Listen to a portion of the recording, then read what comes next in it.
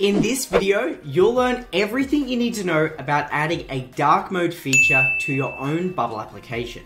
Now, why would you want to add dark mode? Not only does it help reduce strain on your user's eyes, but if I can be completely honest, it also looks super sexy. I mean, who doesn't love a good dark mode? It's beautiful. Thankfully, this feature is relatively straightforward to build out, so I'm going to hand this one over to Luca, and he's going to explain everything you need to know.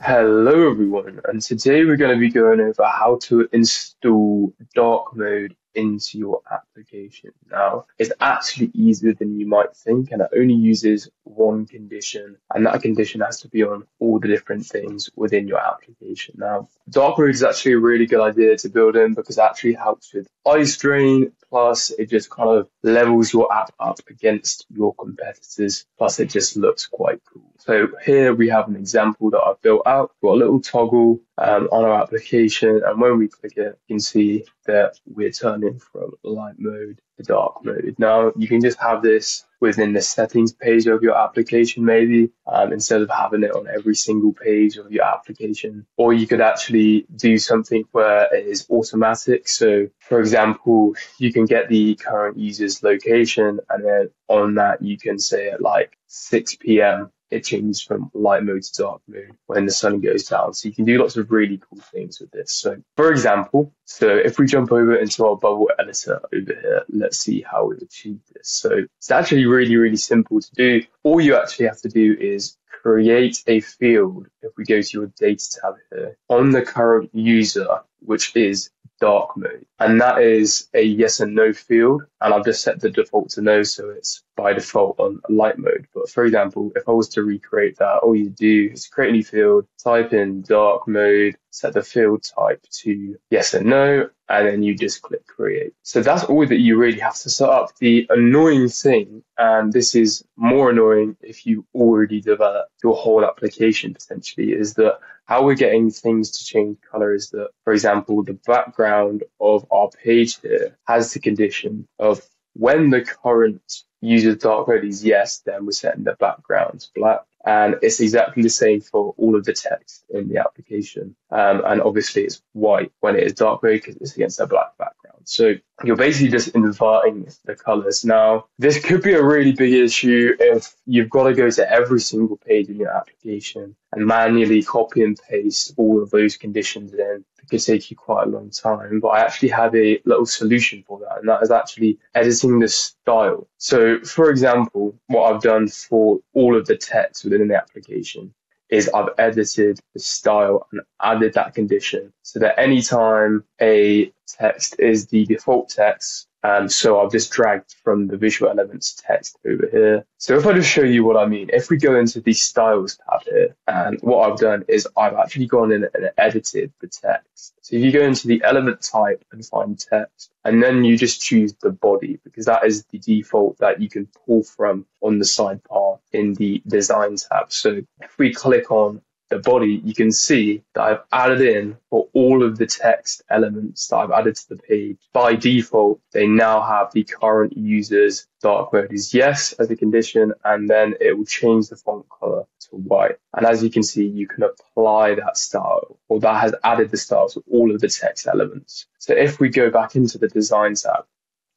and I drag a text element and I go to the conditions, you can see when the current user dark mode is yes, and then the uh, property is defined in the style body. So that's just where we've come from. So if you have already built out your entire application, you could still, providing that you just drag from here and just use the default text, um, providing that, then you can definitely change all of your text over to dark mode in a relatively short space of time. So how have we actually created the button to adjust all of this? How have we created this little toggle? What we've done is we've just placed a regular button. So if we rebuild this here, what you'd want to do is go over to your visual elements tab, grab the button, place it onto your page. Now I'm putting in the default mode is mode and what I'm going to do is I'm going to detach the style from the button. I'm going to turn the color of the button over to black, and then I'm going to keep the text as white.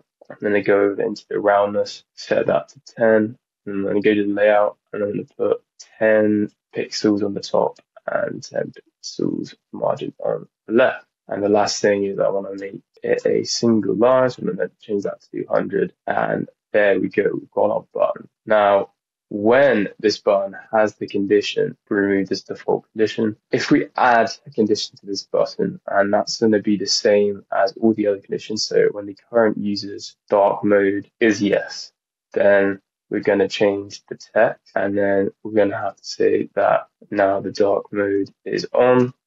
We're going to change the background color to be white, and that's all we're going to change. So the next thing we need to do is actually just create the workflow for this button. So if we go onto our appearance tab and click start and edit workflows, what we're going to do is we're going to define this workflow for turning it on, and then we're going to create a completely different workflow for turning it off.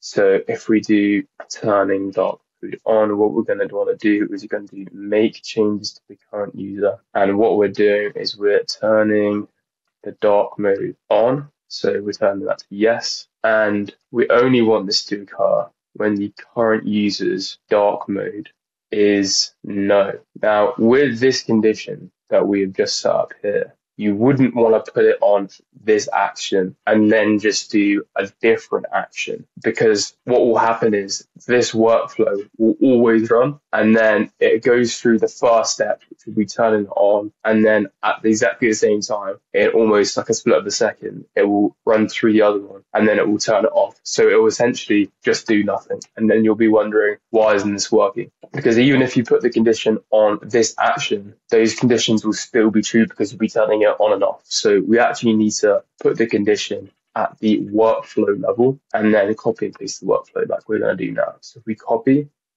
and we paste, what we're going to do is change this now for we only want this action. So we're turning dark mode off happen when dark mode is on. And so we're turning the dark mode off. Perfect. So if we just preview our application again, it's going to look almost exactly the same we've forgotten to change our font to black. As you can see, all of the other workflows work perfectly fine. All that we only need to do is go back into our design tab and add font color. And we want our font color to be black. So if we preview our application again now, you can see that we have a fully working dark mode. And if you wanted to have this button on every single page of your application, again, you could go into the style of the button and change that for your whole application instead of just one button that you're adding in. Uh, but yeah, ultimately, if you're starting to build a fresh application, then I would say it's a good idea just to set up those styles just so that you don't really have to think about it. And then when you build your application, you can just pop one of these toggle buttons in your settings page, and then that feature is fully built for you at the end of your build without really having to think about it. So that is how to install and build a dark mode feature into your application. And I hope that helps you with your current build. And just like that, you now know how to add your own custom dark mode feature into any application you create inside of Bubble. If you found this video useful and you wanted to stay up to date with any additional Bubble resources I share, I'd always recommend hitting that subscribe button so that way you can be the first to know whenever I drop a new tutorial. For now though, I just wanted to say a massive thank you for taking the time to watch this video, and I wish you all of the best on your own no-code journey.